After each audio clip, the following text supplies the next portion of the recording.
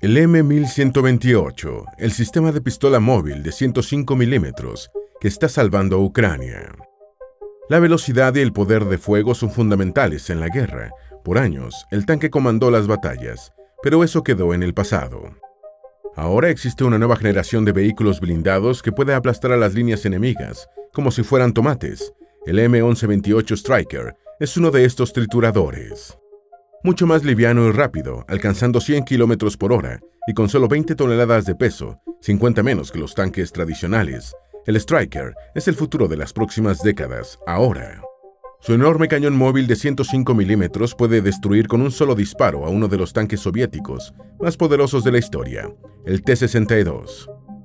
Un proyectil escupido por su cañón derribará fácilmente un edificio, como si en vez de bloques de concreto fuese levantado con ladrillos de madera. Pero las tropas no le quieren, más bien, lo odian. ¿Por qué? ¿Cómo es que un arma asesina de este tipo, que solo debe hacer temblar al enemigo, también causa desasosiego a sus propios soldados? Descubrámoslo.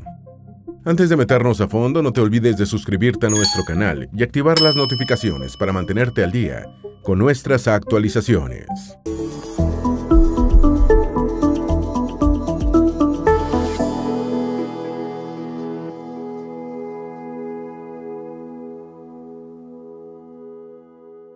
El cañón móvil de Estados Unidos que estuvo en Irak y Afganistán. En la década de 1990, el ejército de Estados Unidos demandaba un vehículo que combinara la agilidad de las tropas aerotransportadas con las fuerzas blindadas.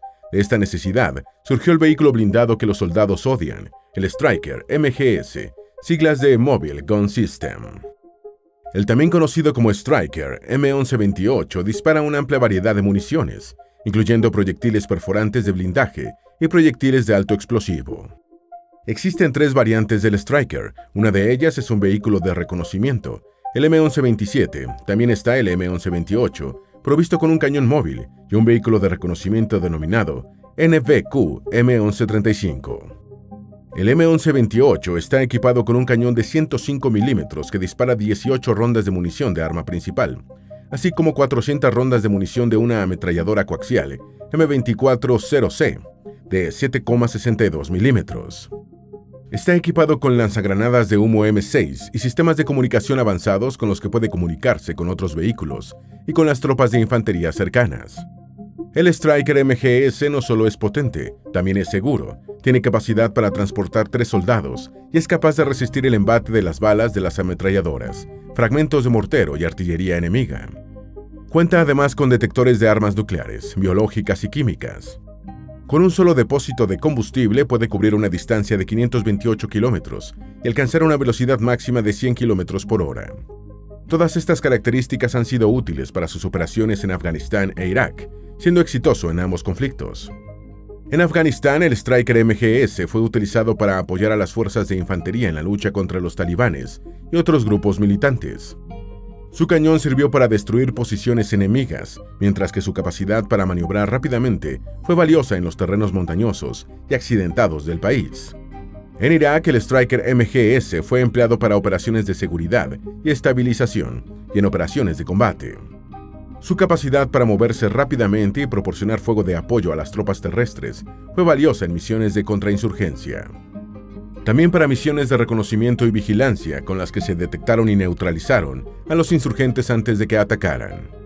El éxito de los vehículos ligeros en las guerras modernas está a la vista. Después del final de la Guerra Fría, expertos en defensa creían que los vehículos blindados del ejército de Estados Unidos para combatir a las fuerzas mecanizadas soviéticas en Europa no eran adecuados para las misiones de menor intensidad que podrían presentarse en el futuro. Los conflictos modernos implican operaciones de mantenimiento de paz, seguridad interna y antiterrorismo. Los vehículos blindados tradicionales para enfrentarse a un enemigo convencional en un campo de batalla abierto podrían ser demasiado grandes, pesados y costosos para estos escenarios. Por este motivo, el ejército de Estados Unidos comenzó a desarrollar un nuevo vehículo blindado de combate para los conflictos modernos. En lugar de estar diseñado para batallas de gran intensidad, este nuevo vehículo estaría optimizado para misiones de menor fuego en entornos urbanos y en otras situaciones donde la movilidad y la flexibilidad son clave. Estos vehículos se centrarán en la protección de los ocupantes, la movilidad en terrenos difíciles y la capacidad de transportar tropas y suministros. El desarrollo de este nuevo vehículo blindado de combate fue impulsado por una serie de programas de adquisiciones, incluido el programa Armored Gun System, que buscaba un tanque ligero de 20 toneladas que pudiera lanzarse desde el aire para sustituir al M551 Sheridan. Aunque el programa Armored Gun System fue cancelado por restricciones presupuestarias, sentó las bases para el desarrollo de una nueva generación de blindados de combate adaptados a las misiones de menor intensidad. Comparar un vehículo blindado ligero moderno con cañón de 25 milímetros o 105 milímetros con un vehículo de orugas antiguo armado con una ametralladora pesada y diseñado para transportar a soldados al frente de batalla es inconcebible. La primera serie de vehículos M113 demostró desde su lanzamiento ser muy exitosa, con más de 80.000 unidades producidas desde la década de 1960. Ha sido utilizada en numerosos países y conflictos militares. Canadá ha empleado los M113 en diferentes versiones. Se han desarrollado vehículos blindados ligeros para cumplir funciones de traslado, como ambulancias, sistemas antitanques armados con misiles y para hacer vehículos de suministro, entre otras funciones. También se han fabricado versiones mejoradas con radar de contramortero y con torretas de 25 milímetros, pero no todo terminó en el M113. El ejército de Estados Unidos también utilizó el M2 Bradley, un vehículo de combate de infantería desarrollado en los años 70 para sustituir al antiguo M113. Su principal función era brindar apoyo de fuego a la infantería durante las operaciones de combate, con una tripulación de tres personas, conductor, artillero y comandante. Puede además transportar hasta siete soldados y hacer mucho daño con su armamento principal, un cañón automático M242 de 25 milímetros capaz de disparar proyectiles de alto explosivo, perforantes y trazadores. También contaba con una ametralladora coaxial M240 de 7,62 milímetros y dos lanzadores de misiles Tau antitanque. Entre la firma de un tanque y la agilidad de un pistolero. Estos vehículos blindados son desplazados por ocho ruedas conocidas como Strikers. A diferencia de los tanques M1 que pesan 70 toneladas, el Striker MGS deja su huella en el campo de batalla con 20 toneladas de peso, pero cuesta 5 millones de dólares cada uno. En comparación con un tanque, el Striker tiene una armadura más delgada y armas más pequeñas.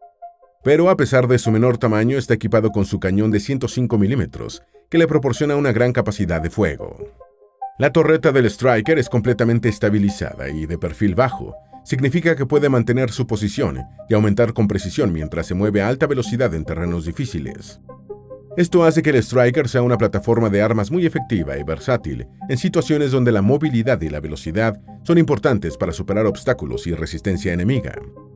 Aunque no es tan resistente como un tanque, el Striker ofrece una combinación equilibrada de capacidad de fuego, movilidad y protección para cumplir con una variedad de misiones en el campo de batalla.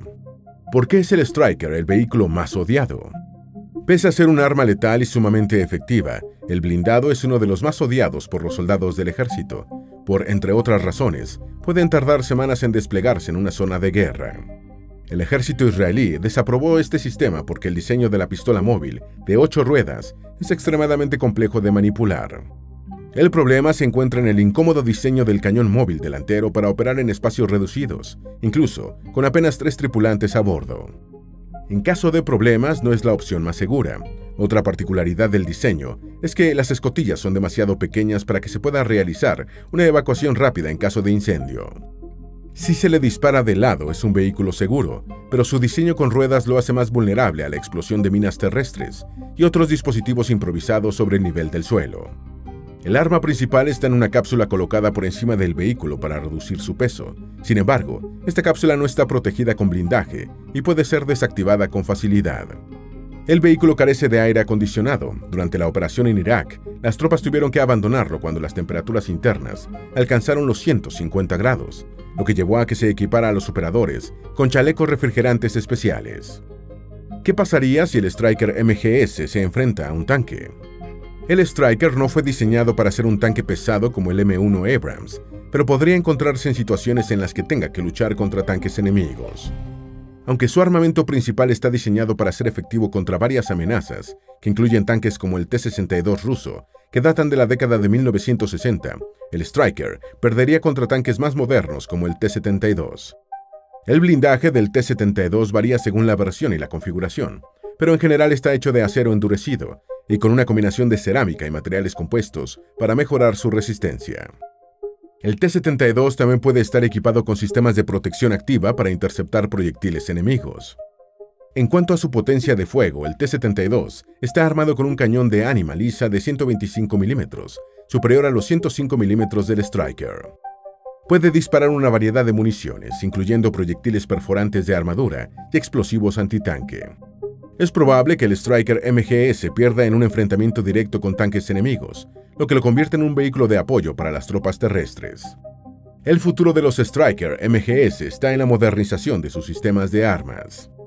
Los desarrolladores dejaron de producir los GM Defense y General Dynamics Land sin hacer mucho ruido. El ejército de Estados Unidos planea retirar el Striker MGS al considerarlos obsoletos, mientras que el Pentágono está recortando la cantidad de Strikers móviles en cada una de sus brigadas, dejando solo unas 10 unidades operativas. Pero se trata de un retiro de una variante, ya que el Striker MGS renacerá de sus cenizas. El teniente general James Pasquaret, subjefe de programas del ejército de Estados Unidos, confirmó que están desarrollando y financiando mejoras futuras y variantes del vehículo. El ejército planea actualizar miles de otros Strikers MGS, colocando sistemas de defensa como orificios en ángulo. Se trata de aberturas en la parte inferior del vehículo diseñadas para desviar la energía explosiva de una bomba o mina terrestre lejos de este y hacia el suelo. Estos orificios están diseñados para ser más efectivos que los pisos planos convencionales, que transmiten la energía explosiva directamente al vehículo. Los orificios en ángulo funcionan al crear una rampa suave que desvía la energía explosiva hacia el suelo, y al hacerlo, el vehículo sufre menos daño, elevando la posibilidad de que la tripulación sobreviva. También se reemplazarán los cañones de 50 milímetros por cañones de 30 milímetros para reducir la complejidad de maniobra del cañón móvil. El ejército mejoró los sistemas Striker con armamento más potente en respuesta a las preocupaciones sobre una Rusia más agresiva. Se está implementando además un nuevo sistema móvil de defensa aérea llamado M-SHORAD, que se montará en los vehículos Striker A1 y ayudará a proteger a los soldados contra las amenazas aéreas mientras se desplazan. El M-SHORAD tiene la capacidad de defenderse contra cohetes de artillería y morteros, con un sistema de radar y cámaras para detectar la trayectoria de los proyectiles entrantes y disparar en su dirección para destruirlos antes de que lleguen a su objetivo. El ejército ha contratado a Northrop Grumman y Raytheon para desarrollar un sistema láser de 50 kilovatios para los vehículos de combate Striker, para mejorar la capacidad de defensa aérea del M-SHORAD. La retirada del Striker no tendrá un impacto significativo, ya que la mayoría de la cadena de suministro de mantenimiento para el sistema de armas móviles Striker se incluye en otras variantes. En otras palabras, aunque se retire el M1128, la industria de la defensa aún tendrá la capacidad de mantener y reparar la flota Striker existente, utilizando los suministros y componentes disponibles. El sistema de pistolas que puede salvar a Ucrania. El ejército de Estados Unidos anunció sus pretensiones de desmantelar todos los sistemas de cañones móviles Striker, MGS, para finales del año 2022. Pero entonces, ¿cómo es posible que esta arma pueda utilizarse en Ucrania? De acuerdo con Defense Express, lo que puede ser considerado obsoleto en Estados Unidos no necesariamente lo es en otros países como Ucrania, donde la carencia de vehículos blindados, especialmente aquellos capaces de proteger a las tropas y a los vehículos de transporte, es un problema determinante. A pesar de que los vehículos Striker M1128 MGS pueden tener problemas con la carga automática y no tener la suficiente protección contra minas terrestres, todavía pueden ser reparados o ser suministrados con modelos mejorados el costo de recibir modelos antiguos del Striker MGS seguirá siendo significativamente más bajo que el de comprar un modelo nuevo y avanzado. Igualmente, y más allá de sus debilidades, y que no tenga la movilidad de un vehículo desplazado con orugas, puede ser de gran utilidad en terrenos ucranianos. A pesar de varias versiones, el portavoz del Pentágono, el teniente coronel Garron Garn, declaró que no existe todavía anuncios oficiales sobre el envío de este tipo de vehículos a Europa Oriental. Sin embargo, existe un antecedente. La administración de Joe Biden anunció el envío de 50 vehículos de combate Bradley a Ucrania. Y los Strikers MGS tienen una mejor maniobrabilidad que un Bradley M2 convencional, y la versión portador de infantería, el M1126, puede transportar hasta 9 soldados en lugar de 6. Los Estados Unidos ha proporcionado anteriormente diferentes tipos de vehículos de combate para apoyar a otros países, incluyendo Humvees, y camiones diseñados para transportar tropas en zonas minadas, por lo que no sería extraño que envíe Strikers MGS. Pero más allá de estas especificaciones, el Striker MGS puede ser de gran valor en Ucrania por la incorporación del M-SHORAD, un sistema diseñado para contrarrestar las fuerzas chinas y rusas. Los vehículos blindados ligeros como el Striker Mobile Gun System han demostrado ser una herramienta valiosa para la defensa y protección de las Fuerzas Armadas en conflictos modernos. Su capacidad para proporcionar apoyo de fuego móvil y ser desplegado lo convierte en una opción atractiva para los aliados de Estados Unidos, sobre todo aquellos que se enfrentan a enemigos más poderosos provistos con más soldados y más tecnología. A pesar de su retirada, el Striker MGS será la huella de nuevos sistemas del futuro. Saldrán al mercado otras variantes, como el Double B Hull, hasta que el M1128 sea sacado de circulación por completo. A pesar de que el Striker MGS tiene sus limitaciones y desafíos, su presencia en Ucrania puede mejorar significativamente la capacidad de las Fuerzas Armadas europeas para fortalecer su seguridad y proteger su soberanía. Esperamos que este video te haya sido útil. Si tienes algo que agregar, por favor compártelo con nosotros en la sección de comentarios. Dale me gusta a este video y envíale el enlace a tus familiares y a tus mejores amigos para que también aprendan más de los avances tecnológicos del futuro. Si eres nuevo en nuestro canal, no olvides suscribirte. No se te olvide seguirnos en todas nuestras redes sociales, que van a estar aquí abajo en la descripción. Recuerda, la vida es mejor con la ciencia.